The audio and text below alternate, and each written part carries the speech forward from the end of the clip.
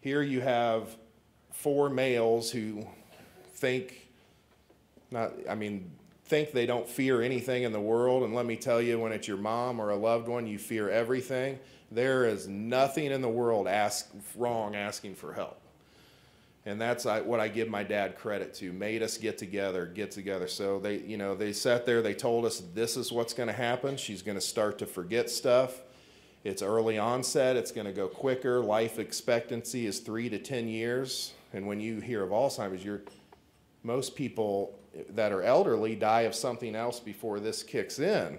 So she got it at 55, passed it at 63. But, um, you know, so you go through a range of emotions as a family. But that organization and getting the support we needed, they told us every time she asks you the same question, answer it like it's the first time.